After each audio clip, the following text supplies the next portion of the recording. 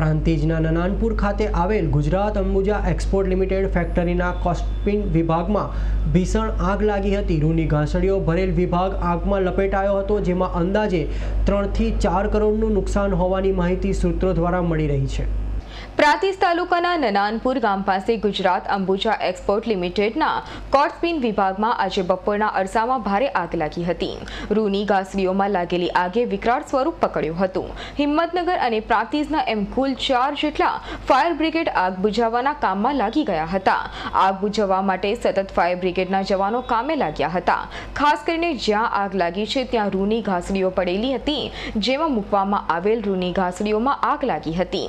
જે ઘાસડીઓ આગની ઝડપમાં આવીને બળીને ખાખ થઈ ગઈ હતી, જેનું અંદાજે નુકસાન ત્રણથી ચાર કરોડ હોવાનું સૂત્રો દ્વારા જાણવા મળ્યું છે.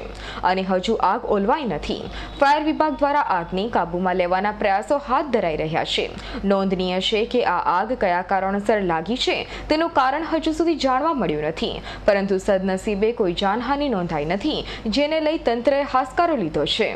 અંબુજામાં અંબુજા કોટ સ્પિનમાં અત્યારે એક ભયંકર આગ લાગી રહી છે અને એના મેસેજ મળતા કોટ સ્પિનમાં આગ લાગી રહી છે.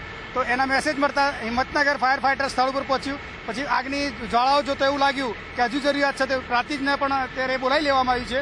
અને ત્રણ ત્રણ ચાર ફાઈટરોથી એક સાથે પાણીનો મારો કરી રહ્યા છે. અને આગ લગભગ હવે કંટ્રોલમાં થોડીક આવી ગઈ છે. અને હજુ થોડોક હજુ એક કલાક એક લાગશે ટોટલ કવર કરતા.